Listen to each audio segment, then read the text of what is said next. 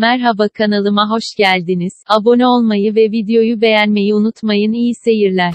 Günün birincisi tahminine geçmeden önce 21 Aralık Cuma gününü hatırlayalım. Cuma günü haftanın en yüksek puanını alan gelini belli oldu. Diğer gelinlere fark atan Elif 73 puanla büyük ödülü kazandı. En düşük puanını alan gelin 50 puanları Meyso olurken yarışmaya veda etti. Geçen haftanın toplam puanlaması şu şekilde oldu.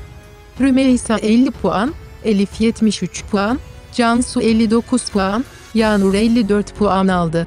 Yeni günde neler olacak? Puanlar nasıl değişecek? 24 Aralık Pazartesi günü kim çeyrek altını kazanır detaylara geçelim. 24 Aralık Pazartesi günü kıyasya mücadele yaşanacak. Bu hafta yarışmaya hangi yeni gelin katılacak? Sürprizler yaşanacak mı göreceğiz.